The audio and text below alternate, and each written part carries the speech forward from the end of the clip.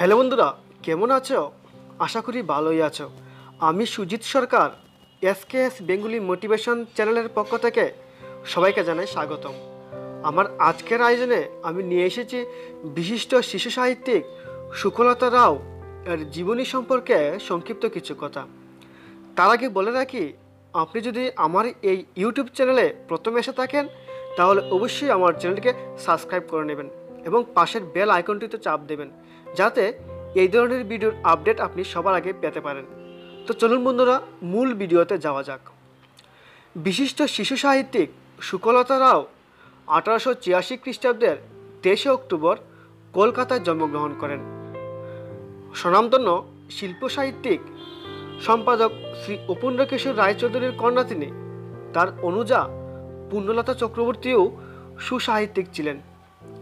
ছেলেবেলার দিনগুলি এবং ছোট ছোট গল্প নামে তার রচিত দুটি গ্রন্থ সেকালে অত্যন্ত খ্যাতি পেয়েছিল।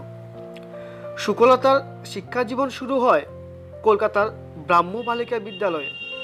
তারপর তিনি বেতুন কলেজে ভর্তি হন।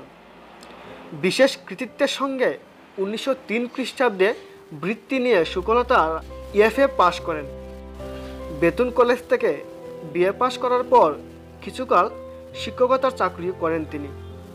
অল্প সময়কালের মধ্যেই শিক্ষিকা হিসেবে তিনি অত্যন্ত জনপ্রিয় হয়েছিলেন।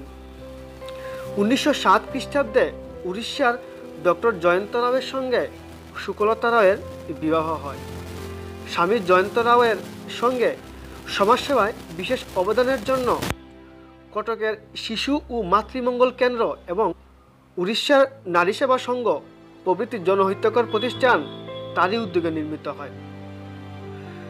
সুকলতা রাওকে কাইজার ই হিন্দ পদক প্রদান করা হয়। ইংরেজি ও বাংলা উভয় ভাষাতেই প্রকাশিত আলোক নামে একটি পত্রিকা সম্পাদনা করতেন সুকলতা রাও বাংলা ও ইংরেজিতে অসংখ্য গ্রন্থ রচনা করেছিলেন তিনি। তার রচনাগুলির মধ্যে বিশেষভাবে উল্লেখযোগ্য গ্রন্থগুলি হল আরু গল্প কুকা এলো বেরিয়ে গল্প আর গল্প। গল্পের বই, নতুন চড়া, নানান গল্প, নিজে পড়ো, নিজে শেখো, নতুন পড়া, পড়াশোনা, বিদেশি চড়া, সোনার ময়ূর, স্বাস্থ্য, লীলাভূমির দেশ, খেলার পড়া, দুই ভাই নানান দেশের রূপকথা, নিউজ ট্যাপ পথের আলো, ইসপের গল্প হিতুপদেশ, গল্প ইত্যাদি। সমকালে শিশু কিশোরদের কাছে এইসব গ্রন্থগুলি বিশেষ জনপ্রিয়তা পেয়েছিল। নিজে পড়ো গ্রন্থটির জন্য উনিশশো ছাপ্পান্ন খ্রিস্টাব্দে ভারত সরকার সুকলতা রাওকেই সর্বপ্রথম সাহিত্য পুরস্কারে সম্মানিত করেন। এছাড়াও তার রচিত আরও একাধিক গ্রন্থ নানান পুরস্কারে ভূষিত হয়েছে। বাংলা ভাষা ছাড়া ইংরেজি ভাষাতেও তিনি অত্যন্ত দক্ষতার পরিচয় দিয়েছিলেন। ইংরেজি ভাষায় অসংখ্য কবিতা ও ছড়া লিখেছিলেন সুকলতা রাও। প্রসঙ্গত উল্লেখ্য, তার লিভিং লাইট নামের ইংরেজি কাব্যগ্রন্থটি সেকালে অত্যন্ত খ্যাতি লাভ করেছিল। চিত্রাঙ্কনেও যথেষ্ট দক্ষতার পরিচয় দিয়েছিলেন তিনি।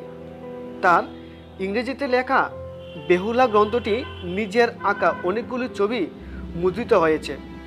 উনিশশো উনসত্তর খ্রিস্টাব্দের নয়ই জুলাই এই বিশিষ্ট শিশু সাহিত্যিক সুকলতা দেবীর মৃত্যু ঘটে। তো বন্ধুরা, কেমন লাগল আমার আজকের এই আয়োজন? যদি ভালো লাগে থাকে, তাহলে আমার ভিডিওটি অবশ্যই লাইক করবেন এবং আপনার বন্ধুর সাথে শেয়ার করে নেবেন। আর আপনার যদি কোনো মতামত থাকে আমার ভিডিও সম্বন্ধেও তো অবশ্যই কমেন্ট বক্সে কমেন্ট করে জানাবেন। আবার কথা হবে অন্য কোনো নতুন আয়োজন নিয়ে। আপনারা সবাই ভালো থাকুন, সুস্থ থাকুন। সবাইকে আমার চ্যানেলের পক্ষ থেকে ধন্যবাদ।